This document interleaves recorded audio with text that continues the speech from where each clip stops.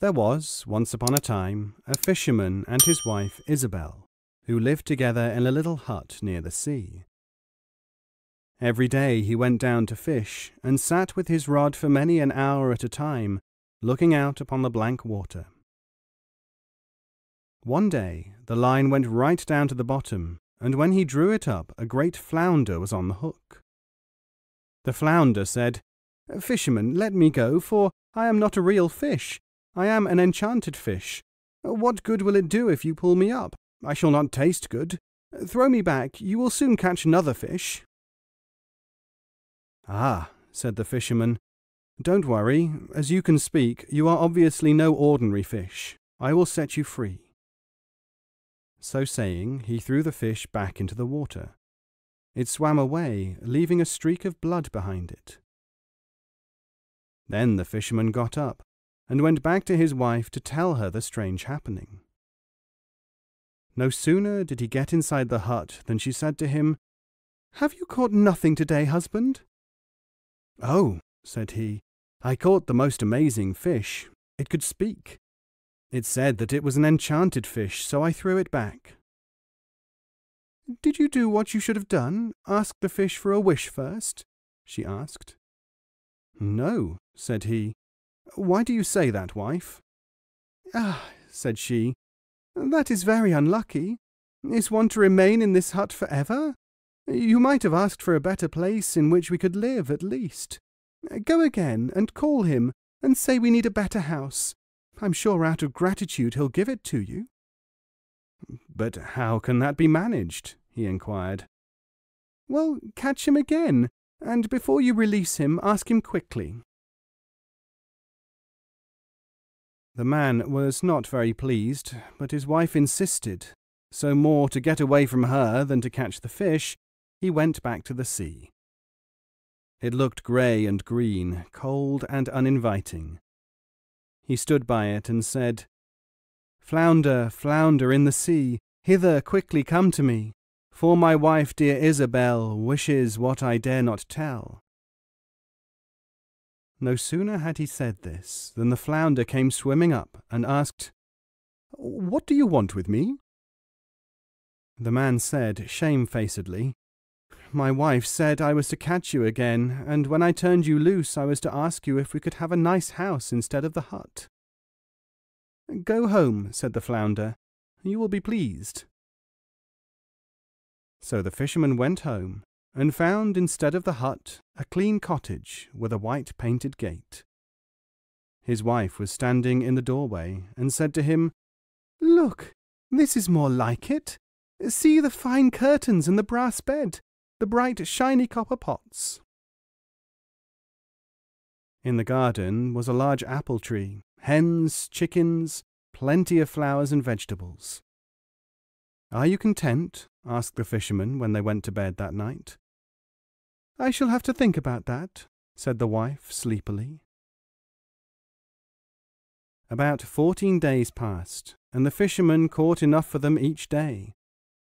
But his wife began to complain about the cottage, saying, Husband, the bed is too narrow, the parlour is too crowded, the kitchen much too small. The garden is draughty, the gate squeaks. Go then to the flounder and ask him for a castle for us. Wife, said he, exceedingly annoyed, I cannot do that again. Surely this cottage is good enough for us. Good enough for you, but not for me, I can tell you, she replied angrily. Have you no ambition? Do you want to be a poor benighted fisherman living in a cottage like this all your life? Go, tell him what I have said. It isn't right, said the husband. I don't suppose I will ever see the flounder again. But he went down to the sea and looked out. The sea was quite choppy, with great waves topped by white crests.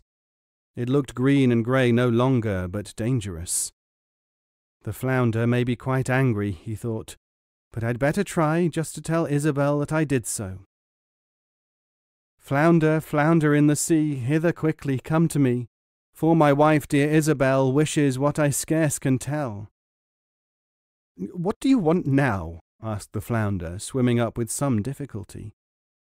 Uh, oh, said the man, half frightened. She wants to live in a great big castle. Go home, said the fish. She has it already. The fisherman went away, and could scarce believe his eyes. Where the cottage had been was a great stone castle with turrets and battlements, slits for arrows, and fifty stone steps. His wife called to him from the top of the stairs, and taking him by the hand, said, Now let us walk about in our new home. So they walked about in the great panelled hall, with tapestries hanging everywhere, and huge paintings of ancestors. There were gigantic oak tables, and silver, glass, linen, candelabras of Venetian work, rooms of treasure, many servants scurrying hither and thither. There were crystal looking glasses, priceless carpets from the east, valuable hounds sitting by the log fire. Outside there were stables, cowsheds, dovecotes of gigantic size, wagons, flowers, and fruit trees. There were meadows full of deer, and oxen in the pasture, fat sheep in pens. Is this not charming? said the wife. I hope you will be satisfied for life with all this style, said the bewildered fisherman, looking everywhere for his rod. We shall talk about that some other time, said his wife. All went well for about two or three weeks. Then the wife said to her husband, Look from this window. Would it not be fine if you and I were king and queen of all the land? Woman, you must be mad, said he. Have you not got enough? Go, she insisted. Tell the flounder we wish to be king and queen. I do not want to be king, he shouted. I am a fisherman. Be what you like, she said. Just go and tell the flounder that I want to be queen. I must be queen. He turned away and went down to the sea. Stupefied, he looked out at the water. It was quite black, and when it splashed up it smelled most disagreeably. But he stood still and repeated as before, Flounder, flounder in the sea, hither quickly come to me, for my wife, dear Isabel, wishes what I cannot tell. What does she want now? asked the flounder, swimming up with some difficulty. Ah, said he, she wants to be queen now. Go home, said the flounder. She is queen already. The man returned home, and when he came nearer to his castle he saw that it had become much larger, and that it had flags flying from the turrets, and soldiers on horseback standing guard everywhere. Before the gate was a herald with a blaring trumpet, and there were other soldiers with kettle drums and fifes. When he went into the palace, he saw that there were items made of gold everywhere, plates and bowls set with precious gems. Magnificent curtains fringed with gold hung at all the windows. Tables were made of marble and gold. Serious looking courtiers strolled through the halls, deep in conversation. He went into the great court apartments, and there sat his wife, with fountains playing jets of wine instead of water, upon a throne of gold and diamonds. She had a crown upon her head, glittering with rubies and pearls, her hair in a net of gold. On her neck was a golden chain, in her hands a golden orb and sceptre. At each side stood six young pages, each dressed more gorgeously than the last. The fisherman went up to his wife and said, Ah, Isabel, I see you are the queen now. Yes, she said, I am queen. Uh, do you like being queen? he asked. Now there is nothing else you can be. Oh, yes, there is, she snapped.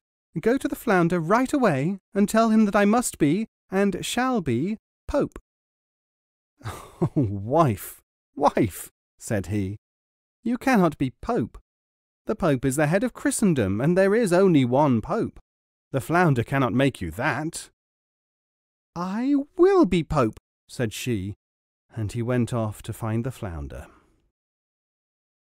When he came to the shore, the sea was running extremely high, and the sky was so black he was quite terrified.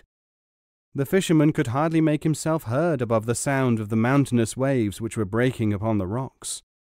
He cried, Flounder, flounder in the sea, quickly, quickly, come to me. My dear wife, Queen Isabel, wishes what I dare not tell.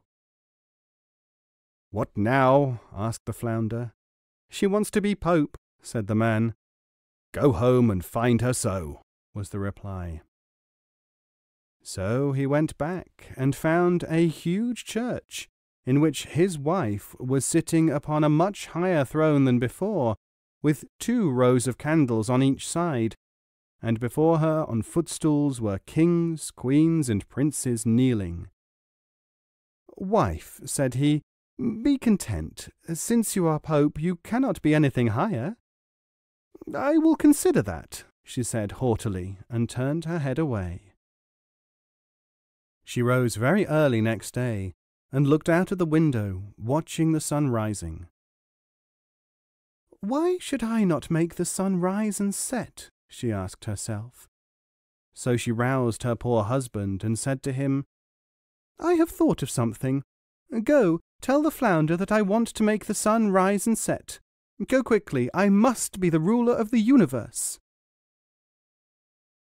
Stumbling and falling, the fisherman made his way to the sea. There a tremendous storm was raging, Ships and boats of all shapes and sizes were tossing about in all directions. Then he shouted out, though the wind whipped his words away, and he could not hear the sound of his own voice.